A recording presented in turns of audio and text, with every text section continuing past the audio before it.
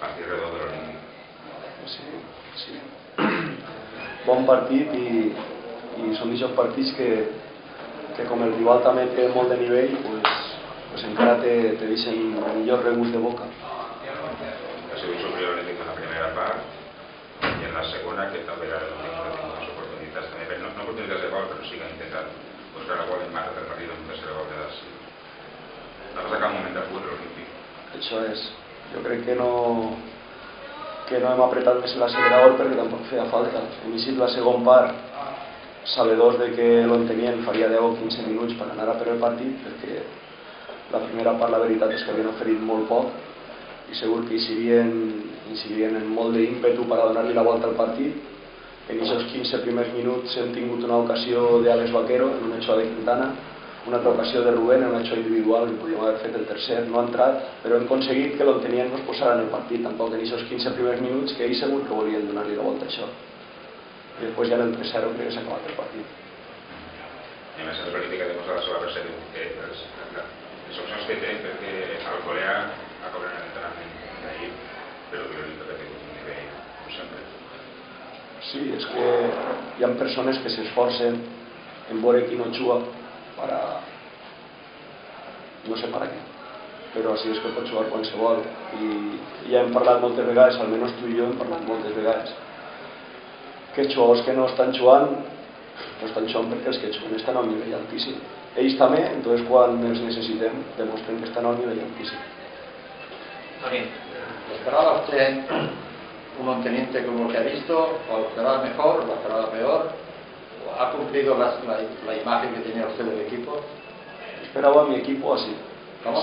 que esperaba a mi equipo así como ha estado cuando mi equipo está así y en la multa, que somos fuertes más fuertes que fuera porque tenemos a, a nuestro público que normalmente anima es muy difícil para el equipo rival, muy difícil. Si encima tenemos efectividad, otros partidos hemos hecho mejor partido que hoy todavía, pero no hemos sido efectivos.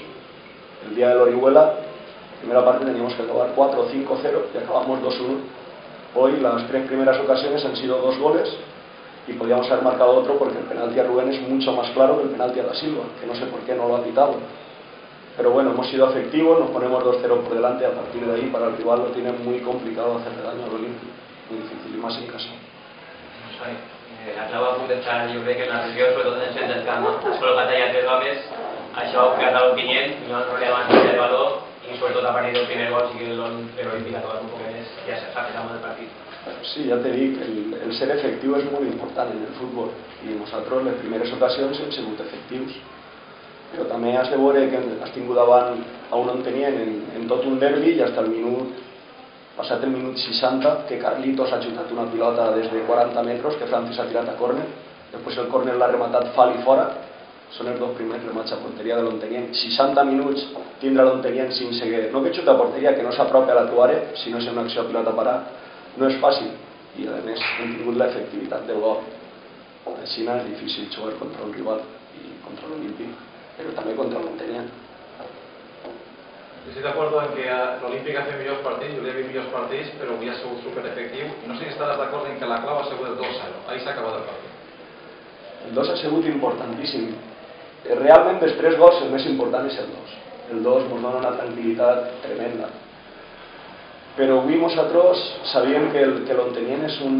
És a dir, la clau del partit crec que està en que hem sigut guanyadors de totes les pilotes disputades. Quan ha hagut disputa, l'Olímpic ha sigut guanyador. Perquè l'Ontenien és un equip que acostuma a ser guanyador d'aquest tipus de jugadas. No? És un equip que si li dones la pilota te fa mal i que si no té la pilota també te fa mal perquè és molt competitiu i en totes les accions dividides, segones jugades, i guanyador sap com jugar en aquesta categoria per, a, encara que no tinga la pilota, guanyar. Nosaltres això ho sabíem i hem intentat ser molt forts en això. Quan tenim la pilota intentem ser forts, però en veritat és que no la tens. I ahir jo crec que hem sigut forts també, sense pilota, i hem sigut molt competitius i hem guanyat totes les disputes que han hagut en el camp, o la major part d'elles. A banda del 3-0 del resultat, té que ser una satisfacció personal guanyar-li a un equip que pareix que està consolidat en la categoria, no només a l'Ontinyà, porteu una trajectòria molt positiva, té que ser una satisfacció, no?, de, de dir l'Olímpic també és un equip creïble en segona B. Sí, no, això Evidentment que ara estic molt satisfet perquè has guanyat, has guanyat 3 a 0 i hi ha un, hi ha un rival de molta entitat. Però per una altra banda, per una altra banda jo sempre vull tenir els peus en terra i que ningú es pense que és fàcil, que ningú es pense que l'Ontenien és un mal equip, que ningú es pense que, que l'Olímpic en poqueta cosa guanya rivals perquè cal fer partits tàcticament i defensivament perfectes per a moltes vegades no guanyar, com el dia de Gandia, que empataren o per guanyar per un gol.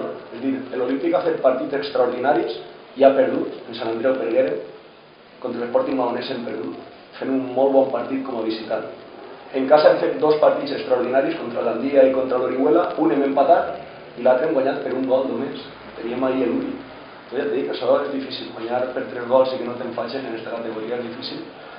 A veure si continuem fent les coses així de bé i, i l'equip continua, continua donant-nos aquestes alegries a tots comentar l'anècdota del partit que ha passat en els canvis.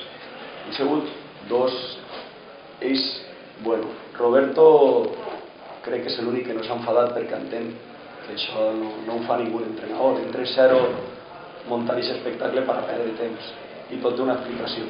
Primer canvi, el xoc que ells de, de vosaltres del terreno de xoc és, ha sigut en el canvi ells han fet primer un canvi que han tret del camp a Fali i ha entrat Bardolet. Eh, Fali té el 18 i Bardolet té el 20. Susaeta ha tret primer el 18, després el 20. Però el 20 l'ha mantingut un rato a dalt. I Mendoza, que porta el 20, pensava que, que era ell el que tenia que eixir. I l'àrbit, a més, li ha dit, eh, usted el 20, fuera. I entonces Mendoza venia a fer el canvi. Però clar, el canvi no era Mendoza el que passa és que Susaet ha mantingut el 20 un poquet més de temps perquè ha sigut el jugador que ha entrat al camp, que era Bardolet, el de l'Ontenien. A partir d'ahir ja mos ha vingut una targeta. Però no era d'intenció, és que ha estat massa temps. I el segon, el segon el canvi no és Ramon. El segon anem a fer, anem a fer un canvi d'un altre jugador i en aquest moment Ramon demana el canvi i diu canvi. I nosaltres hem, hem fet el canvi de Ramon, Susaeta ni s'ha enterat. I Susaeta traia el digital del canvi que anem a fer primer però no era així, el canvi era Ramon perquè havia demanat el canvi. Ha sigut, jo realment li he demanat disculpes a tot el món. Alguns ho han cregut i uns altres no, quasi tot sí, perquè entre a zero no té sentit fer això per perdre temps. Ha sigut una falta d'enteniment entre Susa i jo, i ahir el culpable sempre soc jo. Jo he estat un poquet empanat. I demané disculpes. No era la meva intenció, ni molt menys perdre temps en un 3-0. La Corea seria un... Eh? La Corea és per precaució. No, no, si no hi ha precaució, si perquè no pot.